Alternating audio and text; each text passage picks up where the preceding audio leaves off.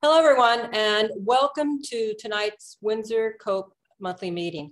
Tonight, we're going to be talking about go bags for humans and for your animals. And our speakers tonight are Nancy Brown with Sonoma County Department of Emergency Management and Julie Atwood of Halter Project. I am Diana Borges. I am the Windsor Cope uh, community leader.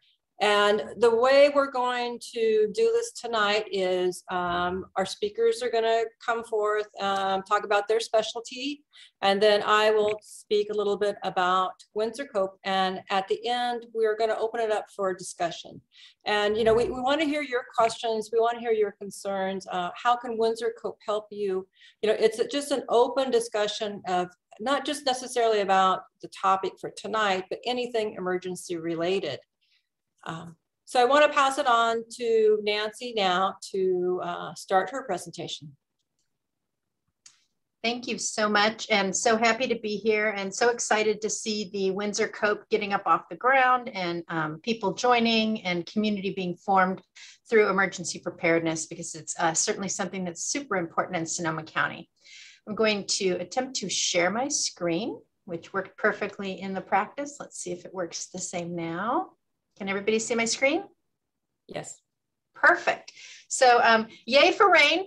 Uh, super excited to see that we're um, getting rain this week. Um, no idea yet how much rain we'll get, whether or not that will be a, a fire season buster rainstorm for us. But regardless, it always just feels so good this time of year to see rain and to be able to let out a deep sigh of um, relief that this season we um, were passed over for any major fire events within the county, although many of the people living in border counties and other areas throughout Southern California did not have such luck.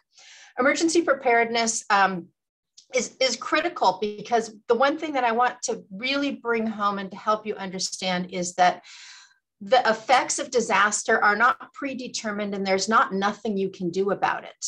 Um, there is maybe limited things you can do about certain types of disasters, but how you weather that and how you get through that and how you make it to the other side has a lot to do with the preparation that you make in advance. So, looking at preparedness as the tool that you can use to combat disruption from disaster is what we're here to talk about tonight. And more specifically, we're going to talk about go bags. And um, go bags are something that Sonoma County has shown to be very interested in. It's something that's really important when you look at fire hazard as one of your major hazards because in a fire, um, very often people are evacuated. And when you're evacuated, you're given just a very short period of time sometimes to get out. And you want to be able to be sure to get out with the most important things, as well as those things that you will need over the next few days as you seek to find shelter and resettle somewhere else as the fire passes through the area. So having a go bag is really critical for you. It's critical for your family. It will help you get through whatever you need to get through over the next few days and can also help you in recovery based on what you put in that bag itself. So I'm going to give you the basic list of items, but let me just tell you right up front, don't spend a lot of time writing these down you can go to socoemergency.org um, on our Get Ready page. You can find the list there. You can print it. Um, there are lists all over the internet. Um, we also have evac packs, which are available at all the libraries that have a personal planning guide with the go bag um, details also in that. So it's, it's pretty easy to get a hold of the list of what should basically go in there. So what we're really going to talk about a little more detail today is different ways that you can customize this go bag for you. And I'm going to talk about a few different products and some of the pros and cons in those products so you can make an informed decision about specifically what you're going to put in your go bag. So, so here's the list. And as I said, please don't write it all down. But these are the basic items. But what I want you to think about instead of the list itself is think about the concepts. The concepts are having to do with if you are away from your home without um, a, a, lot of other resources at your disposal, what do you need to get through three days? Okay, so this is really what the go bag's for. The key piece here is this three day piece. You need to be able to carry it and move it. So this is not the same as a shelter in place kit, which will get your family through at home for seven days to two weeks. This is something that you can take with you. And as you take it with you, you're able to be sure to um, have the most important things that are really going to make a difference. So for instance, um, I wear contacts If I don't either have contacts or glasses, I will have the blurriest and the worst three days of my life. So that's critical for me in my go bag that I have, you know, not just one pair of contacts, because what if I lose one? That I need a couple of pair of contacts. It may be hard to get to stores. Stores might, might not be open. So we can't necessarily rely on being able to easily go get something if we forgot it. It's much better to take this time when we have a rainy day to really think about what's really important to us. And that's really when you're making the list. So this is the generic list. This is the list that basically is what you want to keep in there. But the key is to make sure that this list is right for you and that it has the important things that you find will get you through three days. So that's just really, really key here. And I really want to bring that home for you. So one of the first items I want to talk about a little bit is food. And there's a few different ways to go here. So at the top of the list are um, food rations. So these are meal bars. Um, they usually give you six or nine little squares. Uh, you eat it, it's enough nutrition to keep you from being really, really hungry. Um, they taste fine. They taste a little bit like cookies. Um, so they're not horrible to eat or anything, but it, it's really not much of satisfaction, but it doesn't take up a lot of space. And the other thing that's really good about this is it has a five year expiration date and it's pretty inexpensive. So for less than $8, you can have food for three days tucked in your go bag, taking up very little space. Now, depending on who you are, that may or may not be right for you. So again, let's talk about what's right for you. For some people, they like to do the groceries from the store to put into their go bag. So this could be soup, this could be canned things, foods that you like, or foods that are important for your health one of the things we don't want to do is we don't want to end up sacrificing our health in the middle of emergency and combining that with still another emergency layered on top of that and end up in an emergency room with gut issues. So if you have specific dietary needs, the, the food rations might not be the right choice for you. You might want to really customize what's going in there to make sure that you maintain your health while you're away from home and you don't end up feeling ill at a time when you already feel a lot of other emotions. Now, this could cost you, um, you know, eh, eight to twelve dollars to to do this. One of the things that's a downside of this particular kind of food, though, I think it's important to note is um, there's only like a two year expiration. Some food only has a one year expiration. So you're going to have to actively replace these foods regularly. Hopefully, you choose food that you like so you can put those right into your kitchen cupboard and buy new food to put in your go bag. But um, you want to look at you know those foods that that are best for you. And then the last thing is um, MREs, so meals ready to eat. Now, meals ready to eat tend to be the most expensive. So they could cost as much as 30 to $60 for three days of meals ready to eat. So they're 10 to $20 a piece for one meal, which is what you would have for a single day. They have a great shelf life. They're completely self-contained and they're a lot more interesting than food rations to eat. So if you like to eat food and you like to have a hot meal, you know, this may be a great choice for you. I did want to go ahead and um, open up a meal ready to eat for you. And let me just stop sharing for a second so I can kind of show you what's in these meals because I think it's, you know, you go buy one of these and you don't want to open it and ruin your $20 worth of food. So let me tell you a little bit about what's in one of these meals ready to eat. So um, it comes with a, a package of utensils. So you have the utensils, you have a little piece of candy, a Smarties candy there. So that's kind of nice. Um, here's a little package of sugar cookies. Um, this particular one has a um, cracker. Now, I've had this particular cracker. It's really hard to eat, so not a delicious Ritz cracker, but that's really the only thing in here that's not delicious. Everything else I can say is absolutely delicious. Here's some dry foods, um, fruits and nuts, a, a, little grape powder to put in your water bottle. And then the um, pièce de résistance is this hot meal. So it comes in a pouch like this. And it also comes with a heater bag. And what you do with this is you take this meal, you put a little bit of water in this heater bag and you slip this meal in here. You put it all back in this box and you wait 15 minutes. And by the magic of chemicals, this thing really gets piping hot. So you do have a really nice hot meal to eat. And it's very casserole So this particular one is jalapeno uh, curried beef, which I've had before. It's got a nice flavor to it. It's a, like a, a beef stew. So, um, you know, certainly if it was cold, you'd feel like that was a great meal. If you if you get a lot of comfort from warm food, you'd feel like that was a really great thing that you did was to have that meal ready to eat. So I would suspect that most people would find the best way for them to go would be some kind of combination of these. um, that, you know, if you really just want to push the easy button, then the food rations are definitely a great choice for you. Um, if you need something that's a little bit better for you and for your health, then I would look at some of these other two options when you're thinking of what food. Now, remember again, you're not trying to have a um, gourmet lifestyle for three days. You're trying to have just enough food so that you're okay, because once again, we need to be able to carry this go bag. Next, I'm going to look real briefly at water. And you do have a couple of choices with water also. And I kind of broke it down for you a little bit. There's basically three ways you can do water. So you can do just a standard water bottle. Now, one of the nice things about the standard water bottles is they're pretty inexpensive. Um, they don't have a great shelf life, but you can also refill them. So if you have three water bottles in your pack, and you come across water, you can fill them up. Now you have three water bottles again. So that's the nice thing about it. You can seal the top. Um, mostly they don't leak. I know occasionally they do, but um, it's a it's a pretty easy button to push. Now, canned water in a go bag is going to last almost forever. It's like a 50 year expiration for most canned water. They cost a little bit more. They cost a dollar, but still, that's not the end of the world when you're looking at um, just enough water for you to drink for a few days. Now, remember, this is not the same as one gallon of water per day per person, which you would have in a shelter in place kit. Most of us cannot carry a bunch of stuff plus three gallons of water. Those three gallons of water are intended to be used for cooking, for cleaning, for hygiene, for all these other things. We're just talking about a few servings of water so that you don't get dehydrated over a three day period of time. Now, the last choice would be these pouched waters. These are also designed specifically for emergency kits. They have a five year expiration, so that's pretty good. Um, you can water your plants with them when they expire and buy new ones. Um, they don't particularly cost a lot of money either, so they're a pretty good choice as well. Next on the list, we're going to talk important about medical needs in your go bag. So if you take any prescriptions, um, whether they're life-saving or for your convenience, it's super helpful if you have either a copy of your prescription or a picture of your prescription bottle in your phone with you so that if you run out of the medication, if you're gone a lot farther from home, you have a place for the pharmacist to start to figure out how to refill your prescription for you.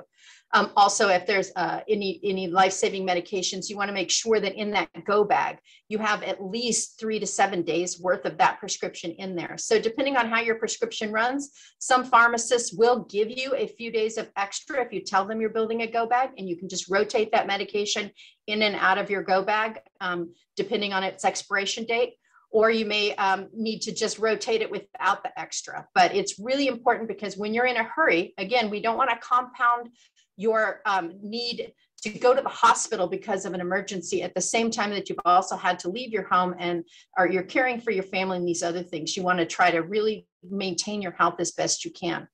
Um, if you have needs for glasses hearing aids batteries all of those types of things make sure that you recognize those. Um, i put as i said contacts are really important to me because my glasses I don't see as well as I do with my contacts.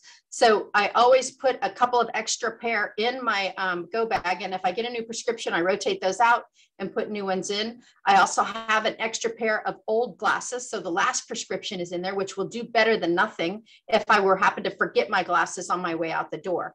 So if you have, um, you know, the last generation of those things that you can put in your go bag so that if you do happen to forget them on your way out the door, you have a fallback position.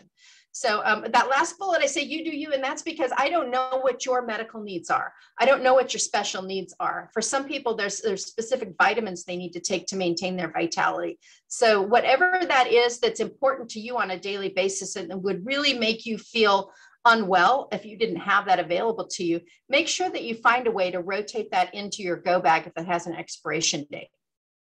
Next, let's talk about important documents. Now, there's a few different ways to do this, and we all know that um, in the event of a fire and, and should you lose your home, all of those documents um, may or may not survive depending on how you keep them in your home, if they're in a fireproof safe, that type of thing.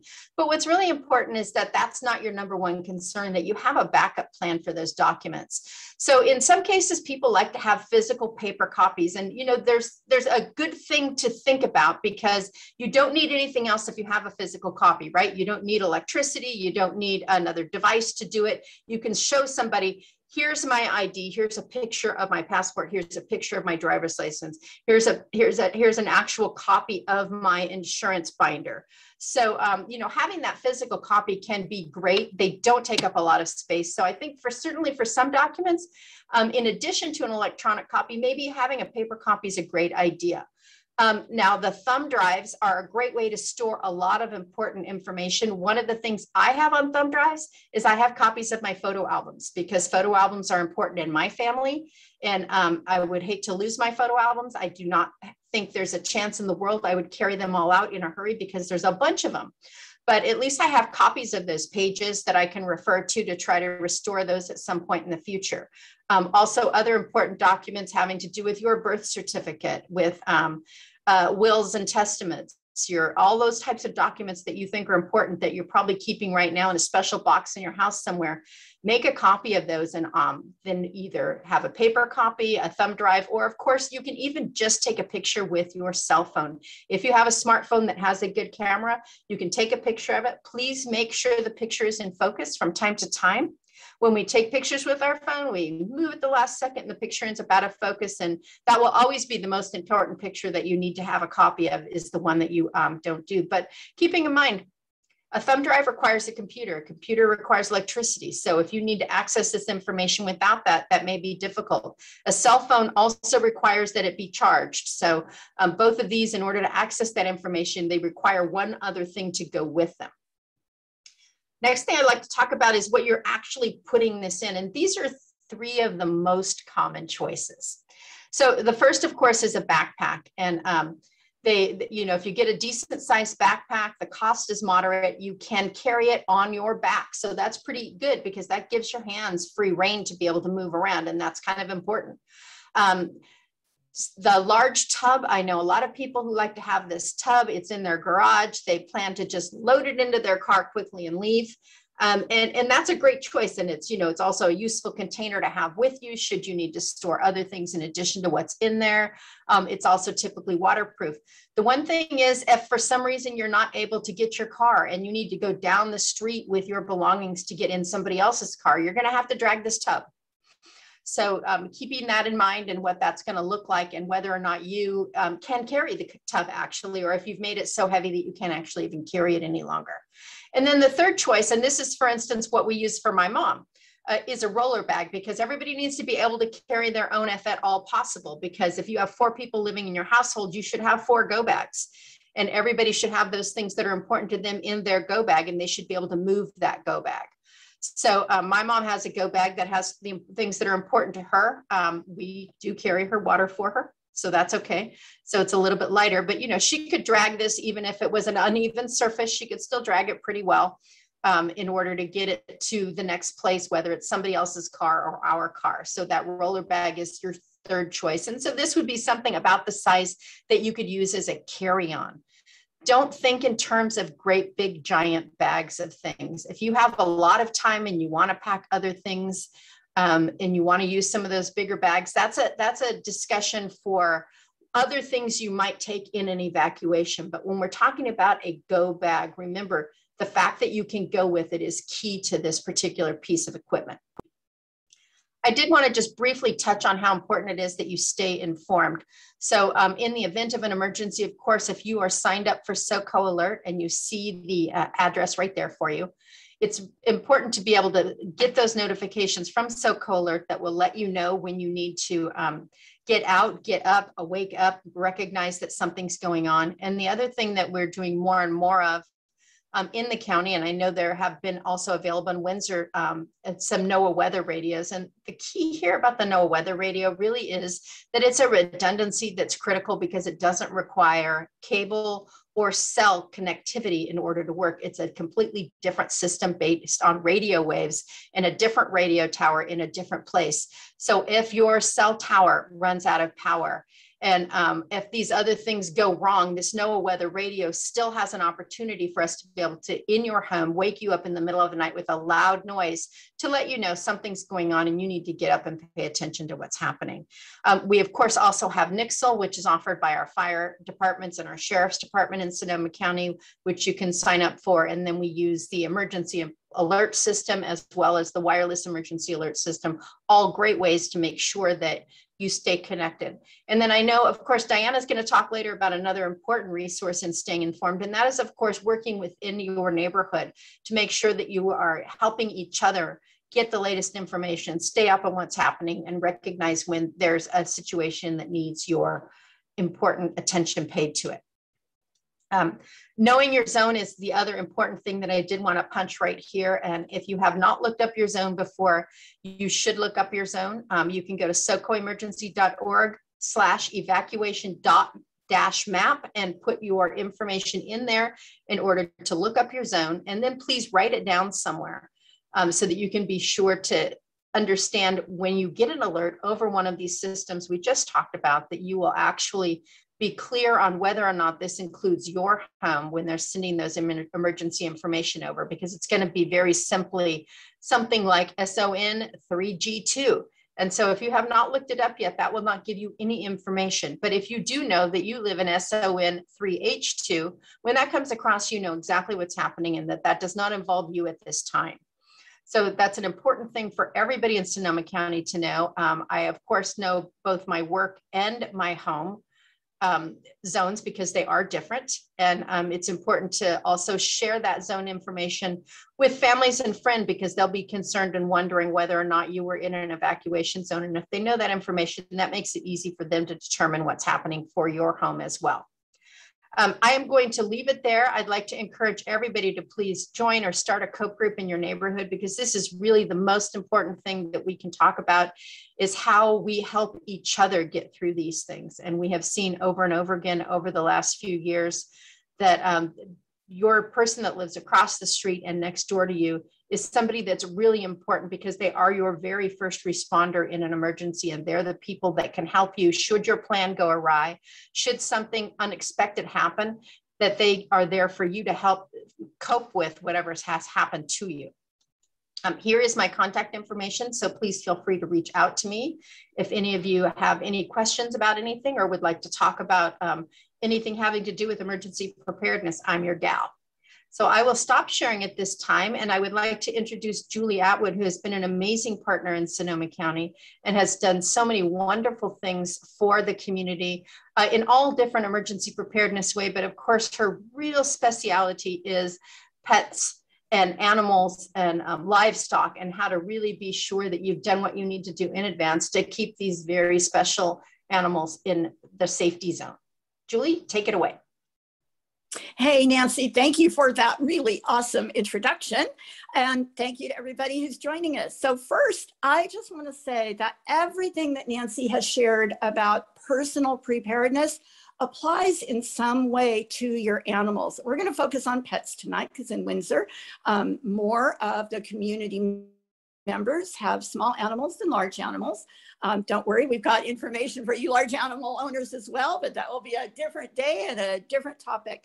But pretty much everything you do for yourself, you need to do and think about and prepare for with your animals. And of course, if you have multiple animals and different species, it's a little more to think about. So Diana saw this video. We have a lot of preparedness videos on our website, halterproject.org, and she liked it and asked if I would share it with you tonight. So we're going to watch a video. It's a little more than 10 minutes long. And I want to preface it by saying that this video is about my preparedness and my recommendations to people who have primarily dogs and cats. Most of the things that you do for your dogs or cats are going to apply to your other small animals as well.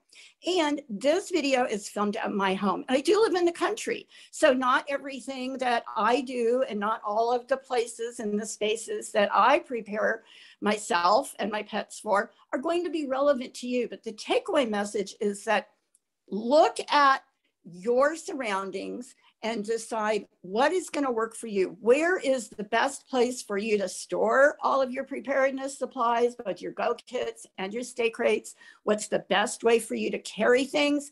Are you going to be able to carry everything safely? Are your hands going to be free so that you can hold your dog on a leash or lead your parent or your grandchild?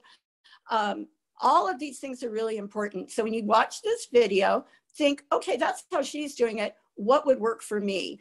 Or that's where she's storing it. What kind of space do I have at home in my garage or my closet or my laundry room? So the whole concept about preparedness is to make sure that it works for you.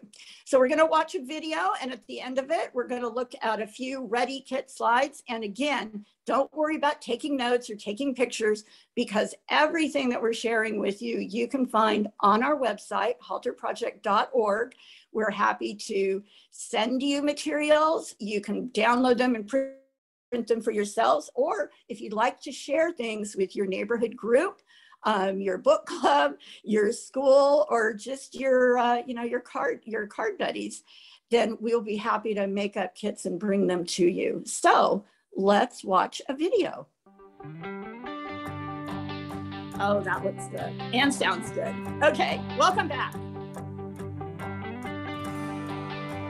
We've talked about the importance of getting your animals into a calm, quiet place when you're getting ready to evacuate. So here on our ranch, I kind of work in two stages.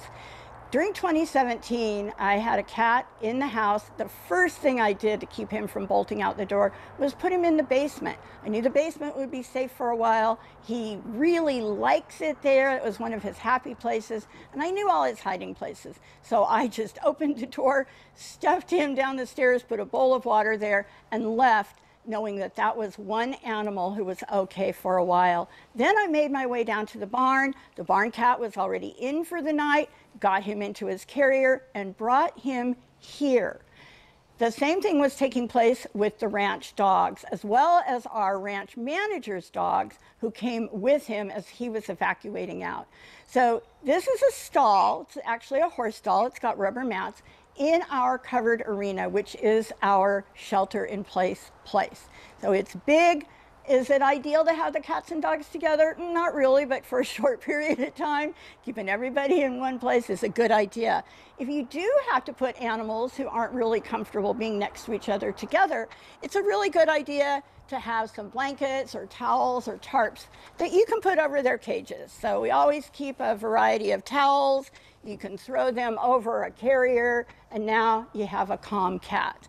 You can also do the same thing with your dog kennels, okay? So we all know that keeping our animals calm and having a dark, cozy place is going to be helpful to them. We always keep extra crates and carriers, so I might move the animal in a small carrier and then transfer it into a larger carrier. In the case of the dogs, they go into these kennels. So once they're here, I make sure that I have their ready kits. I have an extra set of ready kits that I keep packed in a crate. So all I have to do is grab the crate and bring it down here. So I have, guess what? Here is my kitty go kit with all the kitty meds, the calming meds, um, some treats, their grooming needs, everything for the cats. A little bit bigger one for the dogs. Okay, this actually has more food in it. It's got a couple of slip leads. We've got a thunder shirt.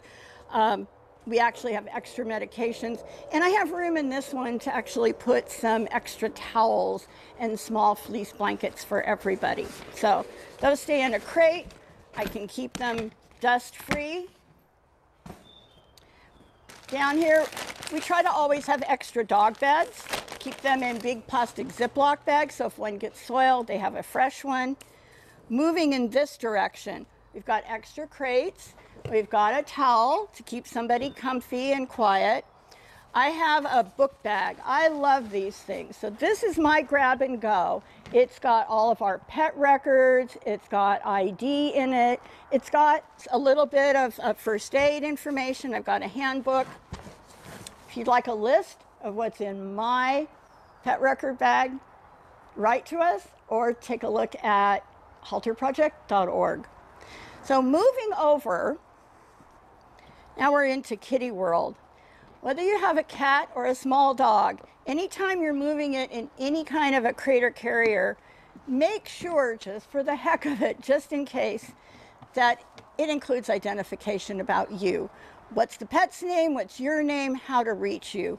Um, if you are evacuating and you end up in a in a shelter in an emergency shelter this is going to be really important every once in a while animals get transferred your crate might be taken out and sanitized if you want to get it back that's also a good reason to have id another comment i'd like to make about carriers make sure they're zip tied. Don't rely on, exclusively on the screws that come with them, especially with these smaller crates.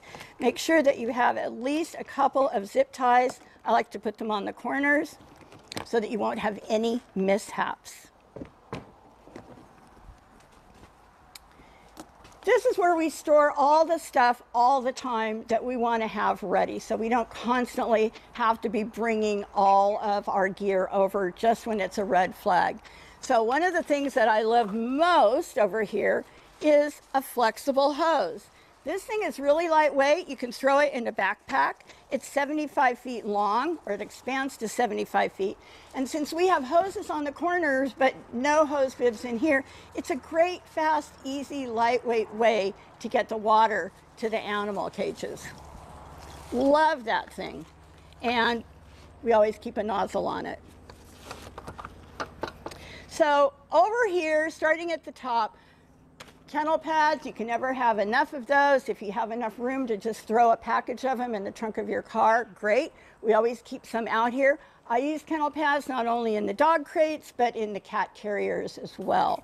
Then we also have our kitty litter and a variety of portable and disposable litter pans. This is kind of a cool gadget if you've never seen one of these, and you end up at your friend's house. You don't have a litter box, a portable litter box, kind of handy. It's really a good idea to keep some five gallon buckets with good screw on lids. It's a great way to transport your food and keep it safe. Also, extra cat litter. Carrying a box or a bag around uh, is a little bit dicey. These things can break apart. So, having an extra bucket is a super idea.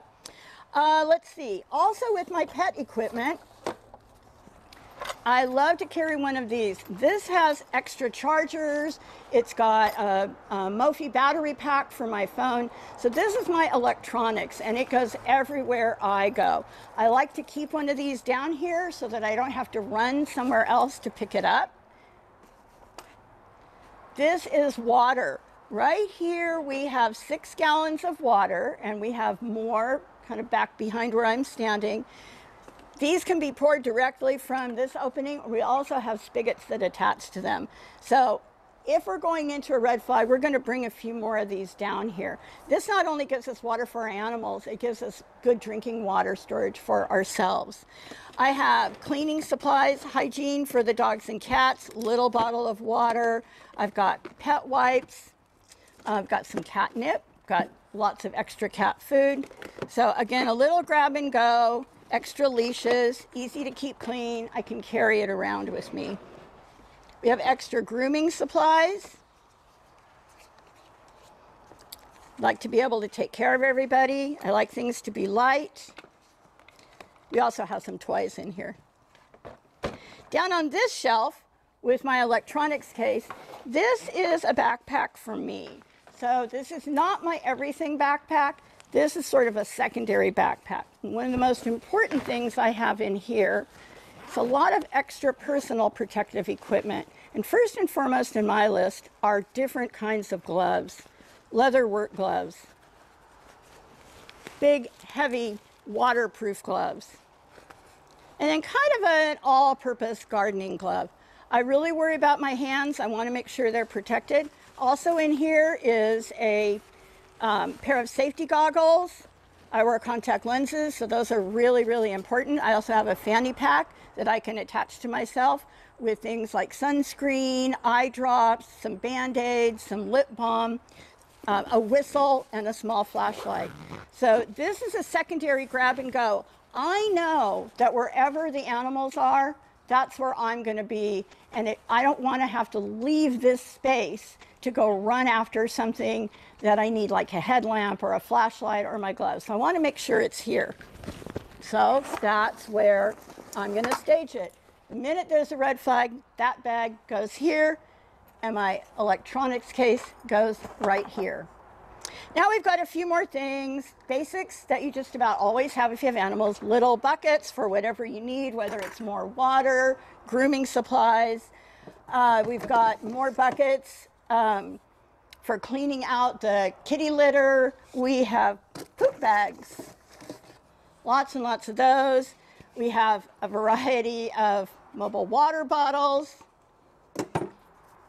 Waste disposal is really important. You can never have too many poop bags and you can never have too many pee pads. So it all boils down to it. It's about pee and poop when you're evacuating and sheltering. And the same goes for people. Make sure you have your hygiene supplies.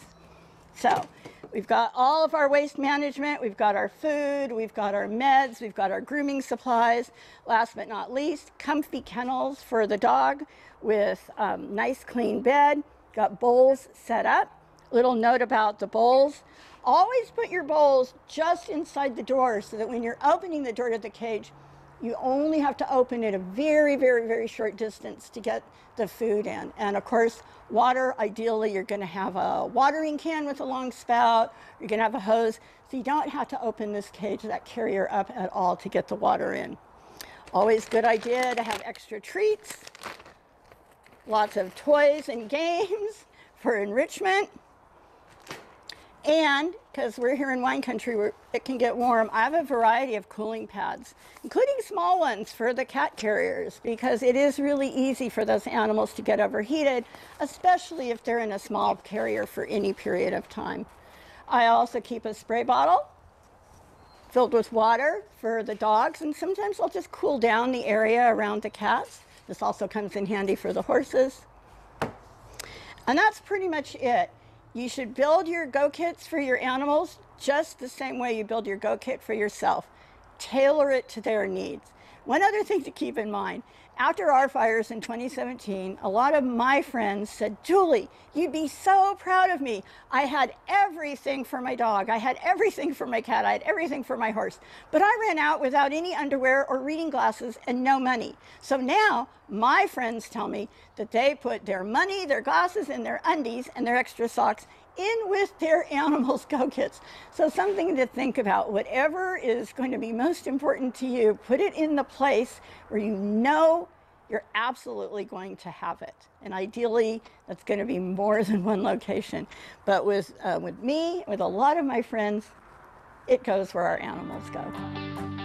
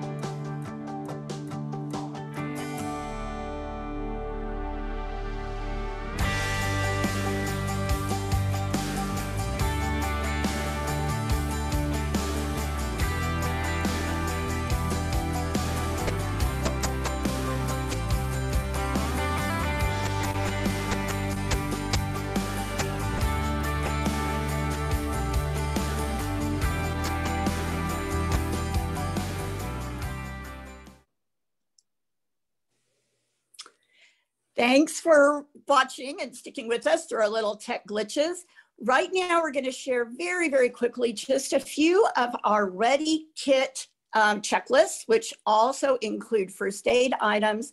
And again, you can get all of these on our website or just write to us at rescue at halterfund.org and tell me what you'd like, and I'll help you out.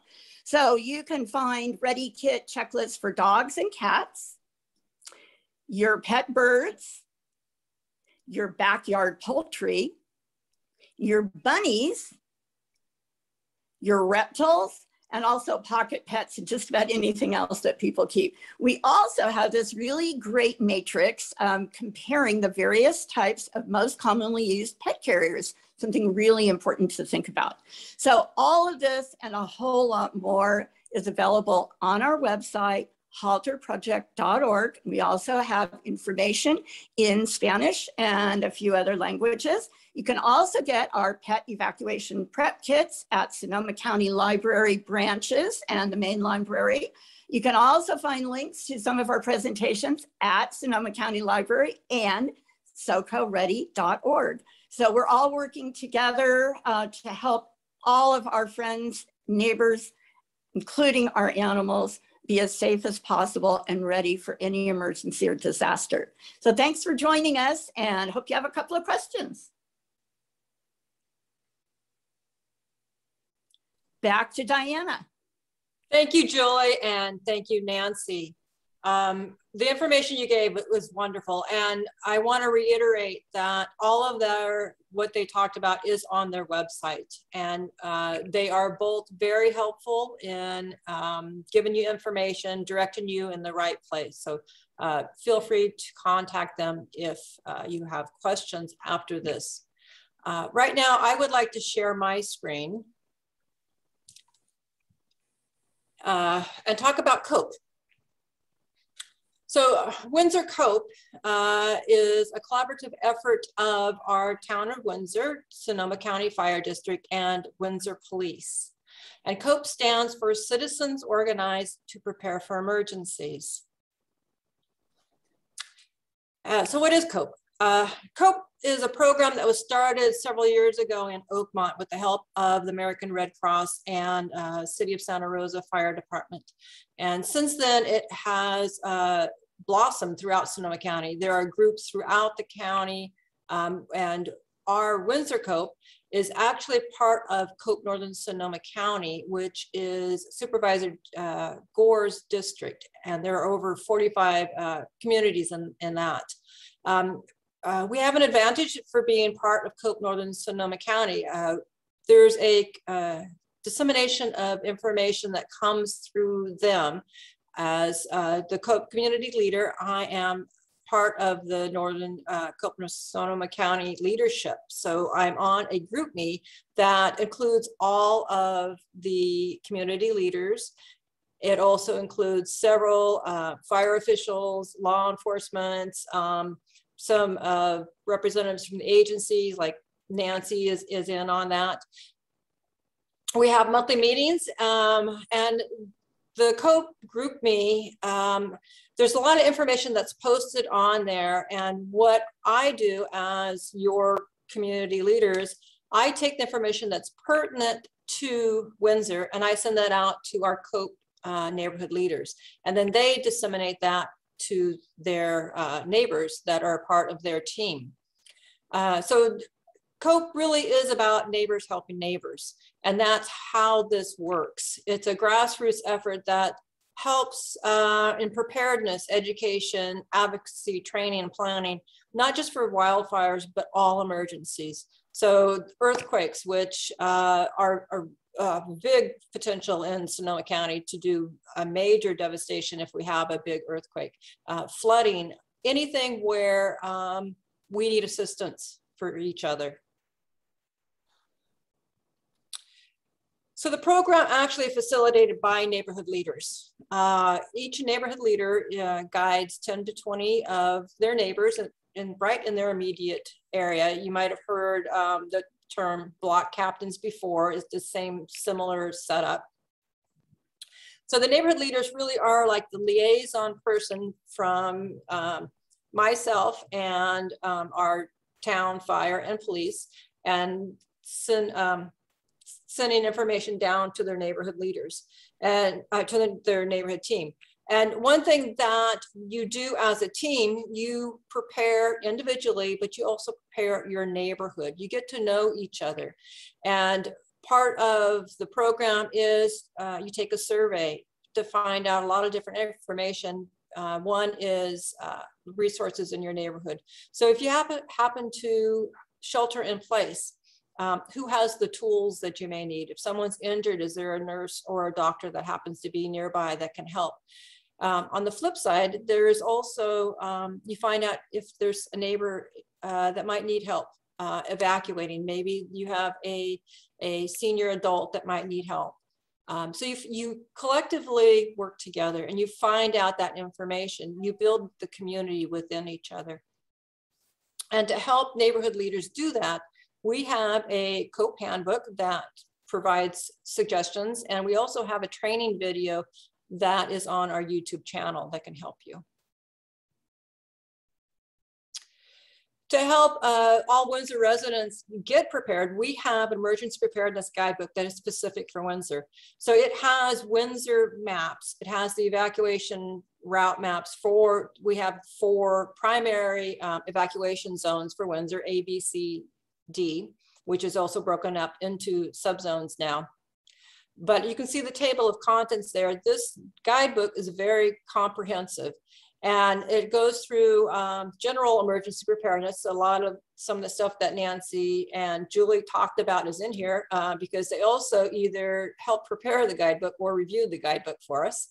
Um, and uh, the emergencies that you see there, um, a lot of them are, um, there's listed suggestions for before, during, and after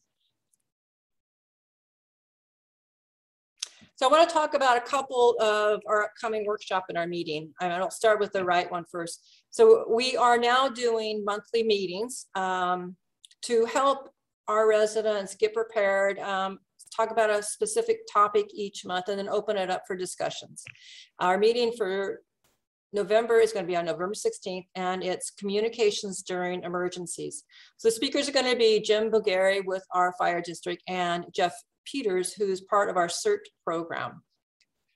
And things that I'm going to ask them to talk about is not just the normal communications during emergencies that you might think of, but uh, talking about options when communication systems go down, you know, the cell towers go down, uh, how are we going to communicate with each other? You know, there's the ham radios and that type of thing. And I'm also going to ask them to talk about some of the behind the scenes that happens you know, there's a lot that goes on in a disaster. You know, take take the Kincade fire for uh, you know, and we had to evacuate. So what was the process, the communication between them that happened? Uh, how how do they get information to watch duty? How does the information get to the radio stations and things like that? So so a little bit of behind the scenes, so so we can understand a little more of what's what's going on. and what can you do? So, you know, I, I, just talked about what we're doing for you, trying to help you get prepared, the town fire, police, and I. And what can you do? Um, it really takes all of us collectively to be ready as a community. And it takes the residents to get ready, their property individually. And the COPE program really is great at doing that. So how can you get ready? Um, download the guidebook. Um, down at the bottom there are links for everything that uh, I'm going to be talking about. So you download the guidebook. Um, also sign up to be a leader in your neighborhood.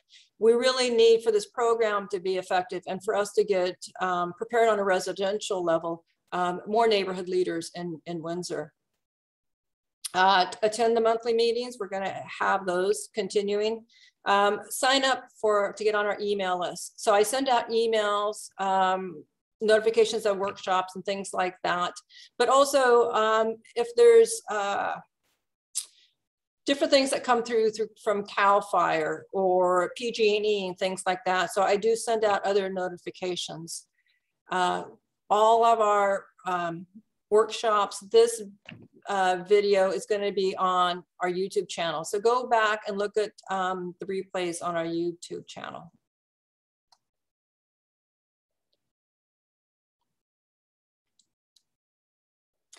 So uh, at this point, I want to open it up for any questions that you may have. And like I said, you can um, put them in the chat if you want, um, or at this point, just unmute yourself. You know, if you have questions, comments, uh, anything about emergency related, uh, feel free to start a discussion. Diana, Yes. um, thanks for the reminder, the mental jog to me to talk about earthquake preparedness because this Thursday, and I just put this in the chat, this Thursday, October 21st, is the Great Shakeout. So if you haven't participated in the Shakeout before, go to a Great Shakeout on Facebook or go to shakeout.org. That's the website and get inspired and do a great shakeout earthquake drill in your home, in your workplace, in your neighborhood, in your barn, in your garden shed.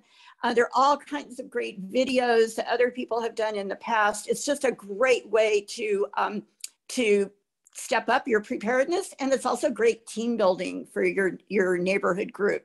So great shakeout this Thursday.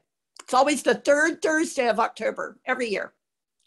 And you know what? I just remembered, I'm going to share my screen again because I forgot to talk about the workshop. Um, so this is a big one, November 4th, we're having a workshop at uh, the Senior Center. And uh, Nancy and Julie are gonna be joining us there. It's gonna be given uh, the town, fire, police, and Windsor Cope. Uh, this is for all seniors in Windsor to come. We're gonna be giving out uh, go bags and the NOAA alert radios um, as long as you know we have the supplies. Uh, we're going to have um, a, a, discussion, a presentation, but then we're also going to be there to help our seniors um, sign up for the alerts, uh, fill out the evacuation packs that uh, Nancy mentioned, um, and all, uh, whatever they need to help prepare. We're going to be staying around helping them. So I ask if you know of any uh, senior to get this information out to them, and especially if you know any seniors that are living by themselves. Um, there's a lot of our residents that are alone living by themselves, and we are trying to reach those people especially to assist them. Oh, Diana, good call. Um, we will be there. I will be there with special preparedness packs for seniors and caregivers. So we'll be there uh, to answer questions. We'll have lots more pet preparedness tips for people who are older, well, not older than me because I'm in that demographic, um, but have special needs. So please share the information, um, come and join us and let's get hands on. We can also send you home with some preparedness packets. Right. And then um, to follow up on Julie's earthquake uh, discussion, um, to prepare for the senior uh, presentation, I prepared two flyers. One is what to do during an earthquake and what to do before an earthquake. And uh, though I'll, we'll have those for the seniors, but I will also send those out um, through my email. I'll, I'll, I'll, send those out through the email. And the other thing is, you know, if you haven't signed up uh, or liked our Facebook page, Windsor Cope, uh, do that because I post on there several times a day usually. And I will put those flyers on our Facebook page. So I am seeing if there's any questions in the chat. I have a question for Nancy. Okay. Which, which, which food do you like the best? I think I know the answer, but if you had unlimited space and you had a, you had a, you had a person to carry it for you, what's your favorite? Oh, well, I would definitely just do the grocery food then because, um, you know, I like Campbell's chicken noodle soup really a lot. I think you're channeling. I love canned tuna really a lot. I mean, there's certain things that I just really, really love. Um, and so that of all the things that were going wrong, that wouldn't have to be one of them. So chicken soup. That's a that's it's good for a rainy night and it's definitely good in an emergency. Comfort food. Love it. Thanks. Well, I love that presentation. I've seen you do that twice now and I love it. I don't see any questions. Um, So if there's no questions, uh, anyone have comments? Uh, I do otherwise- see something from Oh, I see Danica. Somebody, Was yeah. Oh, yeah, there is. Is there a way to get the packets for seniors on our neighborhoods that are homebound? Um, Yes, Danica, just get in touch with me if you want information for people with pets. I make that happen all the time. I'll put together um, a, a bag or a bin and I can bring it to you or to a community center or go door to door if we need to. And And um, the evac packs are available at the Windsor Library in Spanish and in English. So you are certainly welcome to stop by there and pick up a couple. If you need more than that, you're welcome to reach out to me and I'd be happy to um, meet up and get you uh, a, a dozen or whatever it was you need. But if you just need a couple, probably pushing the easy button would be going to the Windsor Library. I have a lot too. I still have a whole box. Okay, well, I want to thank everyone for joining us tonight and I invite you to come to the November one, which is going to be uh, completely different on communications and very informative also. So Nancy and Julie, I'm very grateful for you joining us and for your ex sharing your expertise with us. Well, we're grateful for you and for COPE and the invitation and thank you. Thank you, everyone. Thank you, Uh, everyone. This will be on our YouTube channel. If you want to uh, watch it again, uh, give me a couple days and I'll get it up there. Thank you. Good night.